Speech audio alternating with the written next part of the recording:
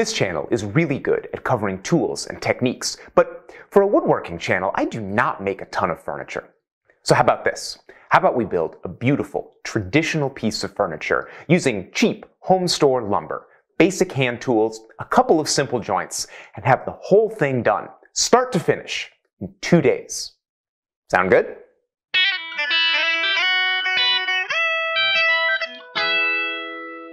Today, we're building the iconic six-board chest. If you do woodwork, you have got to know about this form because it is absolutely everywhere. This medieval chest is a six-board chest. This badass Viking sea chest is a six-board chest. And these lovely blanket and linen chests filling every farmhouse and antique shop all across America, every single one of them is a, well, you get the idea. Let's build one. This is the basic form. It's called a six-board chest for obvious reasons. And this simplicity of construction gives us all kinds of options. But first, we need some wood. These are white pine 1x12s from Home Depot. They're 48 inches long and 11 and a quarter inches wide. You can squeeze this project into five of them, but I recommend you buy a little extra. This wood is cheap, and some of it might cup badly. Give it at least a week to acclimate to your shop, and then we can start cutting. The top is the longest part, and it determines the size of everything else. So think carefully and leave it a little long just in case. The front and back are two inches shorter than the lid, and you want clear, straight timber, especially for the front. Cross-cut carefully and stay close to your lines to minimize trimming later. I'm using my saw at a shallow angle to track the line, and I'm blowing away the dust to keep everything visible as I work. The front and back boards will have some important joinery, and they need to be identical. So shoot them to the same length, and then put them together and joint a reference edge. Make sure they're labeled, and set them aside.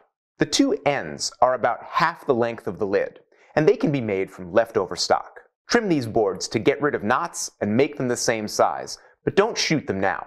Just cut them and move on. The bottom is the length of the lid minus the thickness of the sides. But we're going to be dialing in the fit later, so don't trim this board. Leave it long. If you have any ugly wood, try to use it for the bottom, where no one's going to see it. With everything cut to length, it's time to flatten the stock, and this is kind of a balancing act. All of my boards cupped a little, and they all need to be flattened. But this cheap lumber is only 3 quarters of an inch thick. If I plane it down too much, my boards will be too thin. So I'm going for a compromise. I take down the hump in the middle of each board, and then flip it over to work the high spots on either edge. It's not going to be perfect, so I'm shooting for a finished thickness of 5 eighths, and boards that are flat enough to join together. If you can find thicker lumber, I recommend it. But if all you have is the cheap stuff, don't let that stop you. With a sharp iron, you can get a lovely finish, but this white pine is soft and fragile. As I'm working, I notice that my bench is covered with dents and bumps and little bits of dried glue. This rough surface is going to destroy my freshly planed stock. So I take a break and plane the surface of my bench. I'm using the homemade jointer plane I built two weeks ago, and it's handling the job perfectly. There's a video and plans for building your own if you need a long plane. I'll put a link in the description. People often ask me if they should build their workbench top out of plywood or some synthetic material but I don't recommend it. Solid wood moves a little bit, but it's easy to level and put on a fresh surface anytime you want. All it takes is a sharp hand plane. Now we're ready for the joinery, and that's the most exciting part of this project because there is no glue in this piece. The major joint is a simple rabbet, and it's held together with these rectangular cut nails. We use nails because the grain of the front and back goes this way, and the grain of the ends goes this way. This is called cross-grain construction because these boards will expand and contract in opposite directions as the weather changes. We can't glue this construction because a rigid glue joint will just fail. So we need a connection that's both strong and flexible. This is where traditional cut nails come in. They wedge into the wood for a solid hold, but they also have the flexibility to move with the wood and stay together for centuries. I did a whole video about nailed joinery last week, and you can check that out if you need a refresher. The most important thing about using nails in your project is testing them out first. So let's do that now. I've got my rabbet joint cut in this scrap wood. Plus, I've got four nails and four drill bits.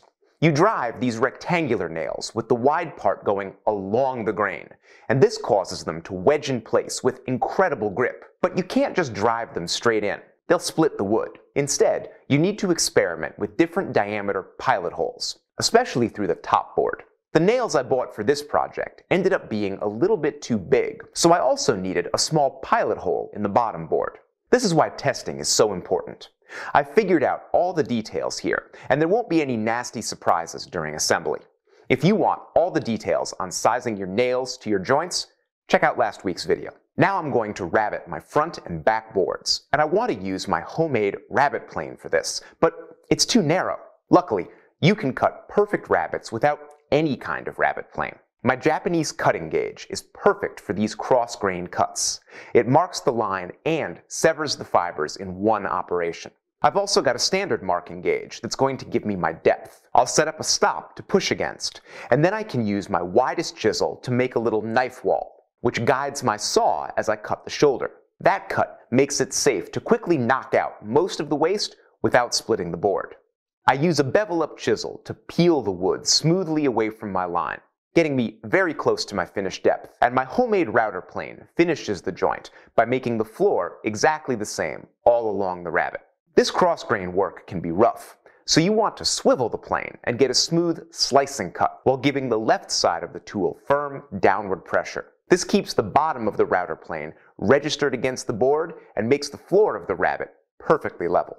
I still get some roughness in this soft pine, so I made a quick sanding block. There's no sandpaper on the edge of the block, so my shoulder stays crisp as I work the bottom of the joint. There are a lot of steps in this process, but it goes quicker than you think, and once you've mastered it, you can cut any size rabbet you want, and you won't be limited by your rabbet plane.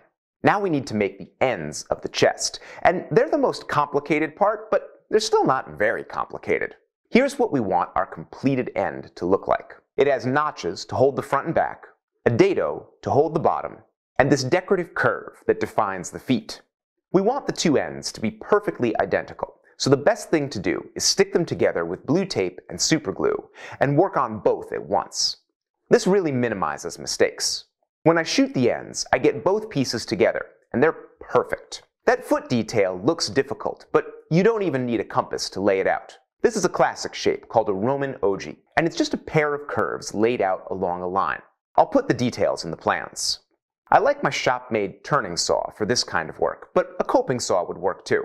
There are tons of decorative options for these feet, and you can just look around the internet to get ideas. If you can saw close to your line, then there's just a little bit of cleanup to get smooth, fair curves. I've got all the layout for these curves in the plans, so you won't have to guess at anything. The notches are easy to cut, especially if you get down on one knee to give that saw a shallow angle to track the line. We rabbeted the front and back first because the depth of that rabbet tells us how deep these notches need to be. Once they're cut and cleaned up, I just need to cut the dado that's going to hold the bottom. It's a lot like cutting a rabbet.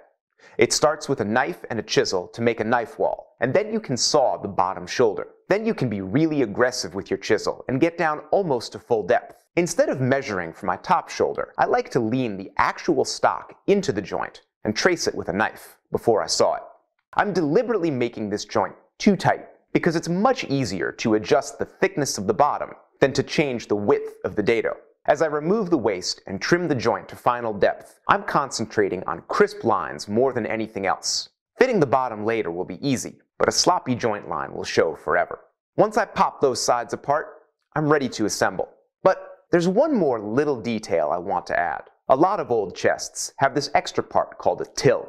It's just a little box built into one end of the chest. Not only does it give you extra storage for little things like needles and thread, the lid of the till can also be used to brace the whole chest open. It's a brilliant little addition, and I want it. The pieces of the till are just held in shallow grooves in the front and back, and these need to be exactly parallel for the till to come out straight. So I'm going to use my tape and glue trick again. Once I get the layout done on one side, it's easy to wrap it around the edge and duplicate it on the other side. The layout is the tough part. After it's done, I'm just cutting shorter versions of the joints we've already made. It's really amazing how much work you can do with a knife, a saw, a chisel, and a homemade router plane. The grooves don't need to be very deep either. About an eighth of an inch is plenty. And once I'm done, I'm actually ready to assemble the piece. Because I took the time to figure out my nails in a test joint, there are no surprises here. I'm starting with the back, so any mess-ups won't be visible, but drilling the pilot holes and driving the nails is smooth sailing. With the back installed, I can flip the whole piece and get the bottom fitted. The stock is both too long and too thick to fit, but that's on purpose. A narrow saw cut fixes the length, and I just use a smoothing plane to bevel the underside until it fits those tight dados. Cutting the bottom to fit the joint is a foolproof way to get a perfect part. Unless, like me, you cut the bottom too short. Twice. Seriously, I have no idea how I did it, but I cut it too short the first time, no problem, there's spare stock, so I got a piece of that and cut it too short again. So I went back to Home Depot, got another piece of wood, cut a bottom a third time, and that one fit. So the next time you mess up in the shop, don't feel too bad about it. So here's the third bottom, sliding home like a puzzle piece. Now, I can make all the till parts, and there's plenty of scrap wood sitting around. For small parts in straight stock, the axe is always faster than the saw, and pretty soon I'm fitting the till and setting the top in place.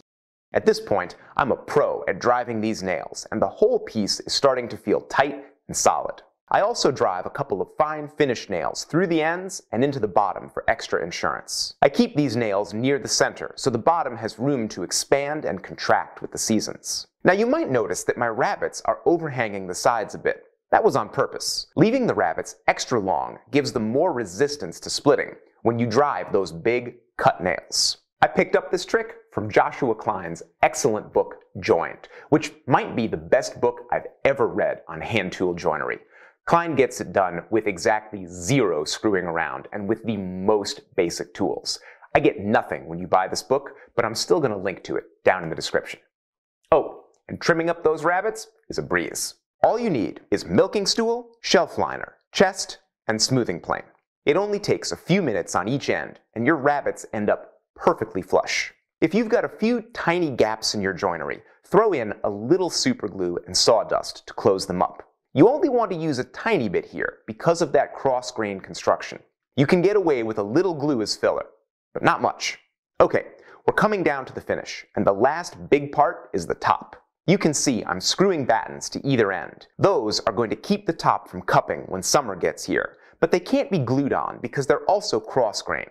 So I'm using screws, and I've taken a little round file and widened out the screw holes a bit. Now the lid should stay flat, but it's much too plain the way it is. Historically, even simple chests had molding around the trim. My favorite molding profile is the classic thumbnail shape, mostly because you can cut it without any special tools. It's just a shallow rabbet along the edge, and then you round over the corner with a smoothing plane. Carrying the profile around the corners is challenging because suddenly you're going cross grain. But if you pre-cut your lines and bevel the end grain, then you shouldn't have any problems. Lots of people cut the ends first, so any mess-ups will get cut away when they do the long edge.